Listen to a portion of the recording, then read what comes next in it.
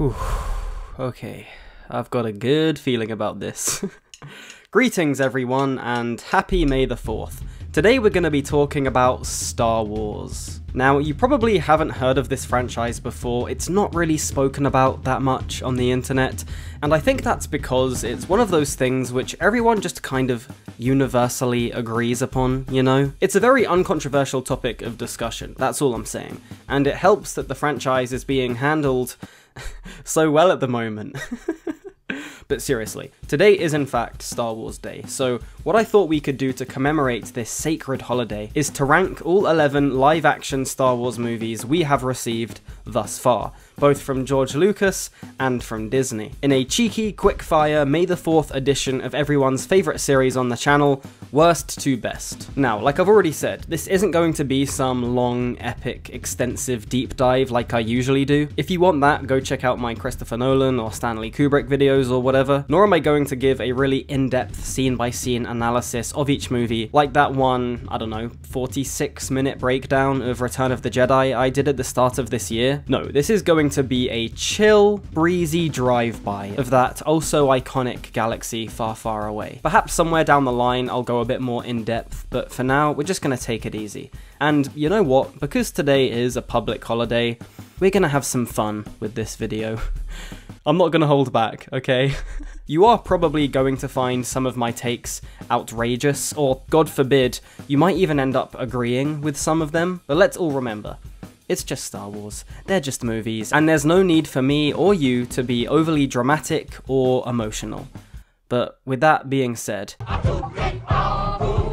I genuinely think The Rise of Skywalker is one of the worst films of all time. Now, usually when people use that phrase, they're talking about movies which essentially fail in every single aspect. You know, acting, story, cinematography, budget. These are your Samurai Cops, your Plan 9 from Outer Spaces, your The Rooms. However, I would argue that the films we should truly be crowning the worst of all time are the big budget, bland, lifeless corporate slodges which are unfortunately becoming more and more common these days. Because look, whatever you want to say about The Room, you can't deny that it's worth watching. It's funny, it's well intentioned, and most importantly, it has a soul. The Rise of Skywalker, on the other hand, I mean, sure, it's competently made from a technical standpoint. It contains a score from one of the greatest composers of all time. I guess some of the acting and visuals are okay. But make no mistake, The Rise of Skywalker is a vapid, empty, and honestly, rather sad film. It's the amalgamation of a trilogy made by people who, let's face it, had no idea what they were doing, who had no plan in place, as well as being a reaction to the backlash of a movie which was a reaction to the backlash of a movie which was a reaction to the backlash of a trilogy. It's essentially 2 hours and 22 minutes of Disney trying to mop up their multitude of past mistakes, leaving little to no time to actually, you know, wrap up the uh, legendary iconic space opera that the gods should have never allowed them to buy. And on top of that, it's just awfully written. I mean, all the stuff with Palpatine coming back in the opening crawl, and that whole scavenger hunt thing they go on, it's genuinely one of the most putrid, dead on arrival corporate catastrophes I've ever seen. Like, at least the prequels had ambition, at least The Last Jedi was trying to do something. And look, you can hate on The Last Jedi as much as you want, believe me, I get it. But you have to admit that The Rise of Skywalker just retconning all the stuff in that film was such a cowardly move from Disney. Like, if you're gonna go down a certain path, at least have the balls to stick to it. Yeah, this movie is worthless. It's actually impressive how bad it is is, and that's all I really have to say. Okay, before I begin, I wanted to quickly say that at the end of the day, this video is basically just me having a laugh about Star Wars and voicing my opinions on the franchise. What I am not trying to do is to tell people that their opinions are wrong or that they shouldn't enjoy something. But with that out of the way, here is a very brief summary of why I don't like the prequels. So in the original trilogy, we're introduced to this incredibly creative and diverse magical world, filled to the brim with charismatic characters, deep interesting lore, and a simple but riveting story story. Yes, of course, it's all happening in a made up fantasy setting, but there's something about those three movies which make them feel very real and tangible and grounded, which makes me believe that all those awesome things really did happen a long time ago in a galaxy far, far away. I think this has a lot to do with their excellent practical effects, which were lauded at the time, which still look real 40 years on, and which will probably continue to look real until the end of time because that's how practical effects work. But they also just happen to be really fun, exciting, and well paced with a lot of passion and imagination, and most importantly, heart. In many ways, they are the definition of lightning in a bottle. The prequels, on the other hand, have absolutely none of this. They are the opposite of lightning in a bottle. They are, I mean, feces in a teacup. And it's to the point where they don't even feel like they're taking place in the same universe as the originals. To the point where I honestly get the feeling George Lucas never once actually rewatched the original trilogy after making it, to remind him on what made those three movies so special in the first place. And this is no more clear than in Attack of the Clones, which is only above The Rise of Skywalker in this list because, while yes, I genuinely feel like I'm being gaslit by all the other people of my generation when they tell me that the prequels are secretly genius, I can at least admit that they do have this bittersweet spark of originality and potential, which the sequels, but especially The Rise of Skywalker, does not have. But just because the prequels are slightly more imaginative than the sequels, that does not make the prequels good. People often like to say, the prequels may have been bad in execution, but hey, they had some good ideas, so I guess it evens out. Um, yeah, no, it does not even out, my friend. Not even a bit. Like, what are you talking about? Execution is the most important thing in a film. Like, it's literally the most important thing. It's basically the only thing. Plus, all the good ideas which people cite the prequels for coming up with, you know, the tragic fall of the Jedi and Anakin Skywalker, the rise of the Empire and all its Shakespearean pathos or whatever, yeah, that all comes from the original trilogy. Like, the prequels cannot claim any of those ideas. Honestly, using this logic, you could argue that The Last Airbender is an artistic masterpiece. Well, its execution may have not been very good, but at least it had some interesting ideas. Well, actually, no. It's just piggybacking off the themes and lore of a far superior source material, completely failing at every step, all the while bringing nothing that is actually new or interesting to the table. And then there's the idea of respecting the original trilogy. This one really makes me laugh. Modern Star Wars fans often like to discuss how the sequels completely disrespected characters like Luke, Han, and Leia, and honestly, I completely agree, and we'll talk about that more in a bit. But are you really going to tell me that Attack of the Clones is respectful to the original trilogy? Are you really going to tell me that The Last Jedi's portrayal of Luke is disgusting, but Attack of the Clones handled characters like Anakin and Yoda with such loving care?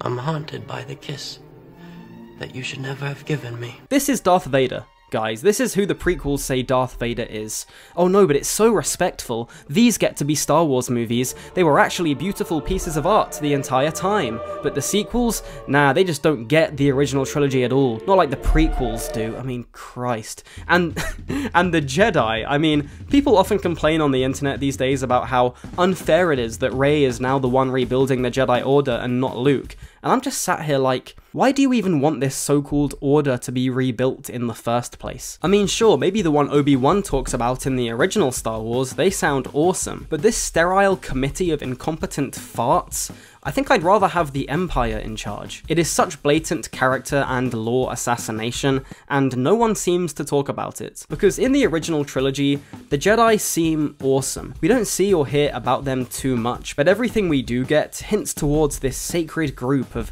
badass, deeply spiritual, sci-fi peacekeeping monks with laser swords. Watching these films, I can completely understand why everyone back in the late 70s and 80s wanted to be a Jedi. Well, it's too bad that the prequels revealed them to be the most boring, lame, and incompetent people in the galaxy. Seriously, how are you to cast Sam L. Jackson and even have him just to be some bland guy with no personality. None of these people seem like they've ever told a joke before. In fact, none of the characters in the entire trilogy do. George Lucas says these films are supposed to be for kids, so why did he forget to add any charisma or fun to any of the characters?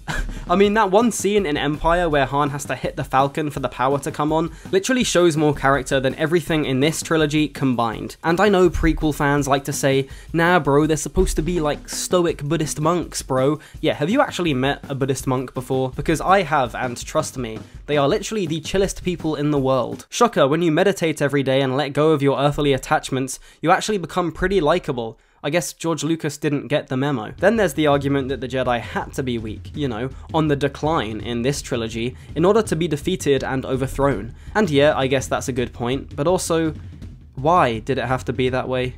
Why did the incompetence of the Jedi have to be the reason they ended up dying out, instead of it just being the strength of Sheev Palpatine?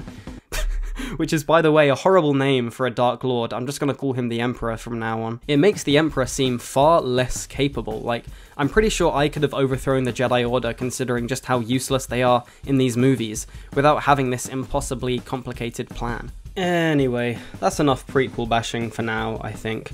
Let's get back to sequel bashing. The garbage will do! Yeah, you can say that again. People often like to cite The Last Jedi as the thing which ruined this modern era of Star Wars, but I'm going to argue that it's actually The Force Awakens that carries that mantle. This is easily one of the laziest films ever written, but the funny thing is, when The Force Awakens initially hit theatres, it was a huge success. And who could blame them? It was the first Star Wars film since 1983, which contained actual filmmaking, and acting, and fun. Yet, eight years and two incredibly messy sequels later, that opening shot of an Empire, sorry, I mean, First Order ship gliding across the frame is really starting to look more like a middle finger to all fans of Star Wars, courtesy of Mickey Mouse himself. The Force Awakens literally feels like it was written by AI. There is not a single shred of genuine humanity, originality, or passion at any point in this movie. It is pure, unabashed conveyor belt filmmaking, only equaled by the MCU's most soulless, stale cash grabs. by the title crawl, all the efforts of the original trilogy have been undone. Both the universe and the heroes who inhabit it have been reverted back to their pre-episode 4 starting positions. It's an astoundingly bizarre and ultimately disastrous creative decision, birthed from a rushed script and one of the greediest companies around. Because, sure, the nostalgic legacy rehash is a safe and easy route to initial delirium and an instant cash flow, but what happens after the viewer leaves the theatre, gets in their car, and the reality of what they've just seen slowly sinks in? I understand that Disney needed to reunite to the fandom after the prequels and George Lucas becoming one with the Force, but something tells me that erasing the previous 38 years of Star Wars content was not the way to do this. Guys, the slate you had was legendary. Why wipe it clean? The sad thing is, writing aside, the Force Awakens is not even that terrible of a movie, at least for like the first 30 minutes. Don't get me wrong, the First Order actually suck Wookiee balls and are some of the least effective, least scary villains in film history, but the combination of some beautiful wide shots, inspiring practical effects, and Williams' score it's alright, you know, no one's completely immune to nostalgia bait. Isaac, Ford, and Nyong'o all give great performances, although the standout here is probably John Boyega, whose character at this point had not yet been forgotten about. I even don't mind Rey in the beginning, at least until her character has to lean on an actual script. But there reaches a point, about half an hour in, where the iconography just stops being enough and where The Force Awakens goes back to sleep. Look, this entire so-called sequel trilogy drowns in the melancholy of missed opportunity, but there's something especially haunting about watching its first installment in the present day, because by trying so hard to be nothing like the prequels, The Force Awakens became the very thing it swore to destroy, it's a boring movie. I was going to write a whole monologue on George Lucas and Disney and mythology and capitalism and good versus evil, but honestly, who cares? We all know what this movie is. It's the beginning of a trilogy so pathetic and hollow, it's convinced people that the prequels are masterpieces or whatever. Yeah, oh dear. Okay, so I'll keep this short. We all know how much this film has been talked about to death on the internet. The Last Jedi suffers greatly from the shortcomings of The Force Awakens, most importantly the decision to undo the entire original trilogy and all its characters. Thanks Disney. I don't know why I'm still watching The Empire versus the Rebellion. I don't care about any of this. It is so mind-blowingly alienating and unoriginal and depressing. And for this reason, I don't hate Rian Johnson. I don't think he ruined my childhood, and I'm not gonna spend my precious time on this beautiful earth sending him death threats on Twitter. An attempt has clearly been made here to inject some life into this doomed trilogy, and for that, the man has my respect. Does it all work for me? Of course not. In fact, most of it doesn't. The film is shot and edited beautifully, but I can't stand Johnson's Joss Whedon y dialogue. Seriously, let's go Chrome Dome? is right up there with somehow Palpatine returned and only a Sith deals in absolutes for the worst line in Star Wars history. Nor do I enjoy the direction he takes any of the characters, Luke being the most obvious example, who here is treated almost as badly as his father was during the prequel trilogy. But I'll say it again, I don't really blame Rian Johnson for this. The torch he was passed was out before he ever got his hands on it. And while I don't particularly like what he did with its extinguished remains, it is the best in the sequel trilogy by default, as it's the only entry which actually somewhat resembles a film, and not just the product of Disney's bland, corporate conveyor belt, which gave us such classics as Ant-Man Quantumania and the live-action Mulan. So, yeah. I've definitely cooled down on my hate for Revenge of the Sith over time. Don't get me wrong, anytime I hear anyone claiming this thing to be some uh, beautiful, tragic Shakespearean masterpiece, I genuinely start to question the very fabric of my reality. I mean, guys, just read Hamlet, read Macbeth, please. but at least now, on the incredibly rare occasion that I do rewatch Revenge of the Sith, I don't want to set myself on fire. And I think that's because despite basically being just as flawed as the other two films, with the Spy Kids 3 level CGI, dreadful characterization which defecates on the original trilogy, and the dialogue which sounds like it was written by a 10 year old who was raised by robots, at least something occasionally interesting happens. The opening of this film, for example, is alright, you know? It's pretty fun. I actually find the lightsaber duel between Anakin and Dooku to be like the best live action fight outside of the original trilogy. I know everyone says the one at the end is the best, but I don't know, I kind of prefer this one. It doesn't have the, uh, what is it? Um, if you're not with me, then you're my enemy line. Nah, it's Shakespearean, guys. It's Shakespearean. Trust me. There's there's even a bit where Palpatine says he's too dangerous to be kept alive, and then Mace Windu repeats it later. So deep, it's basically King Lear. but seriously, Revenge of the Sith is, in my opinion, far from the tragic, nuanced piece of art many people claim it to be nowadays. And the funny thing is, the biggest argument prequel fans make defending this trilogy is, ah, this trilogy may have some problems, but at least it had a planned out, coherent storyline, unlike the sequels. And, okay, first of all, having a story which wasn't made up as the filmmakers went along should be the bare minimum, like, that is such a low bar to set. But second of all, what are you talking about? Planned out and coherent story. The prequels, that's what we're saying now. We've gone from these are the worst films of all time to it's okay to like them to well they actually had some really good ideas to they were a Shakespearean masterpiece. Like what is going on? Planned out and coherent story. The trilogy with like 17 different villains. The trilogy where 80% of the story happens in the final movie. The trilogy whose first film people recommend to leave out when marathoning the franchise. Maybe I'm just being an asshole. I don't know. Maybe I'm just being mean. Or maybe I actually remember the original trilogy and believe George Lucas was capable of so much more than this. Like, imagine how good these movies could have been. You can say no one hates Star Wars as much as Star Wars fans, but I would argue that no one actually appreciates Star Wars more than Star Wars fans. We know what this franchise can be when it's firing on all cylinders, because we've seen it and it's why I find stuff like the prequel and sequel trilogies to be such a shame. But, oh well. Solo, a Star Wars story, is fine. You know, it's an okay standalone adventure, which really isn't doing enough to ruin anything about the greater Star Wars lore. So I guess by that logic, it is better than the sequels and most of the prequels, but it doesn't really add anything either. It's not doing anything that interesting, and on top of this, it's honestly one of the worst looking movies I've ever seen. Seriously, why is this thing so brown? What is going on? This was shot by the same guy who did Arrival. Anyway, Alden Ehrenreich is a good Han, which is actually kind of remarkable if you think about it, considering how big those shoes were. I also like Donald Glover as Lando, I kind of wish he was in the movie more. And look, I think if you cut this down a bit, maybe got rid of Emilia Clarke's character, you'd have a pretty solid episode of some I don't know, live action Star Wars anthology type show. But I also think Han's one of those characters it's better to know less about. And yeah, that's it basically. It's okay, it's fine.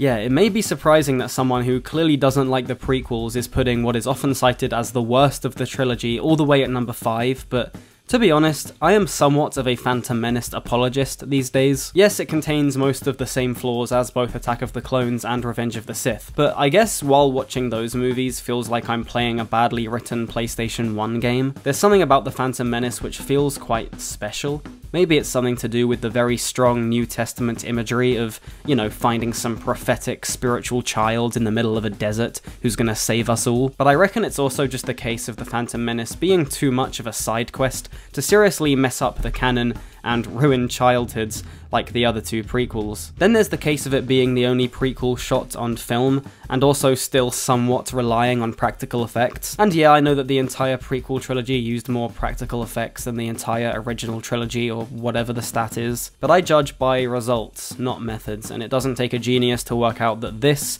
looks a million times better than this. So yeah, Phantom Menace it's not a great film, but there is something about The Phantom Menace which I kind of like. It reminds me of a point in time where the prequels were still salvageable, and, you know, Duel of the Fates, Darth Maul. It's fun. I like Watto. it's just interesting, I don't know. It has a bit of heart, that's all I'm saying, so fair play. Yeah! The good ones!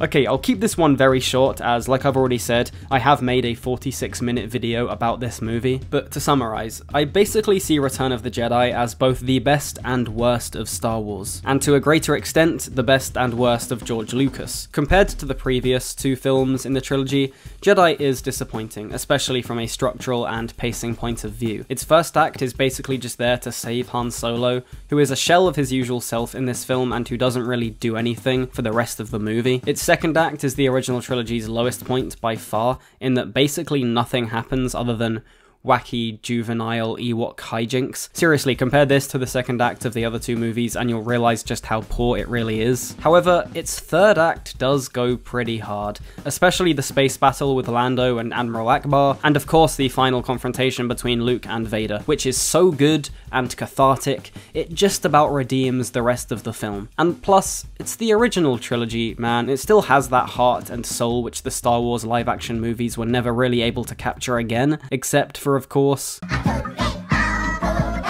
Man, that title is so long it doesn't even fit onto the page. okay, look, I'll be honest. Rogue One's first 30 minutes are pretty shaky. It doesn't really feel like the movie knows what it wants to be, the editing is kind of choppy, and overall the film feels a bit off. But once the stakes are established, once we are introduced to our cast of characters, this film does, in my opinion, turn into a pretty great Star Wars movie, with the third act especially going incredibly hard. I mean, people like to talk about that Vader hallway scene, and yes, of course, it's awesome, but honestly, the whole final hour of this film, I think, is consistently great. It strikes that perfect balance between capturing the soul of the original trilogy, while of course striking out and doing its own thing. And people like to often talk about how, yeah, the action and cinematography are great, but what really lets down Rogue One is the characters. But I completely disagree, okay? It's like what I was talking about with Inception. When you have these heist sort of movies where the goal is the mission, you don't need to have like seven or eight in-depth characters. You don't need to know everyone's backstories. All they really need to be is likable. And likable they are here, especially my boy Chirrut. This is what a Jedi should be, you know? I know he's technically not a Jedi, but you know what I mean. He's like Uncle Iroh, you know, he's got the wisdom and stoicism and spiritual energy, but he's also this lovable, funny bloke who can probably kick your ass. Plus, the way he goes out, I mean, the way all the characters go out, it's pretty ballsy. I mean, how many big franchise movies like this have you ever seen which end up killing off all its characters in the end? Plus, this film gave us Andor, which is like the best Star Wars thing we've gotten since The Empire Strikes Back, so there you go. The fact I'm calling this thing Star Wars and not A New Hope probably tells you what kind of Star Wars fan I am more than anything else in this video. Despite everyone else my age being a die-hard prequel defender, I am indeed an OG, traditional, despecialized Star Wars fan. you know, give me Yubnub, give me Han shooting first, and give me Sebastian Shaw, hashtag my Anakin.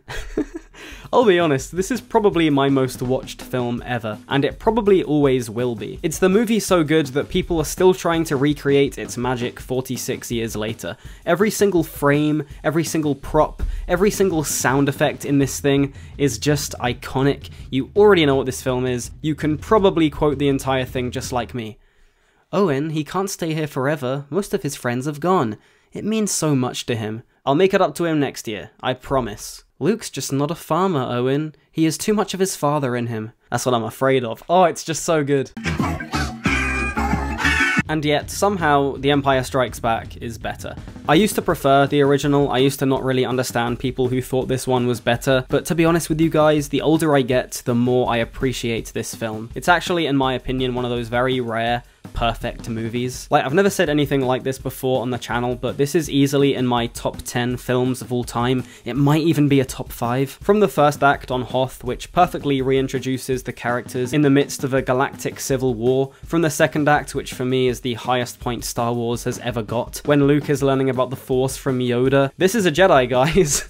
this is what it means to be a Jedi. Dagobah and Yoda both just feel so real. It's kind of incredible that they're not. There's so many iconic scenes here. Yoda lifting the X-Wing out of the swamp, probably being my favourite. And of course, this is all running parallel with Han, Leia, Chewie, and 3PO in the Millennium Falcon. The chemistry of Ford and Fisher is off the charts. I don't think a character has ever been as cool as Han in Empire. And then the third act, which brings it all together. We get Lando, we get Boba Fett, we get I Love You, I Know, we get I Am Your Father. It's just goated. It's a goated movie. This is what Star Wars can be at its best. Yes, it's fun, yes, it's incredibly well made, but honestly, it's more than that. It's art, it's pure magic, and that's all I really have to say. I'm, I'm tired. I made this whole video in like two days, if you uh, couldn't tell.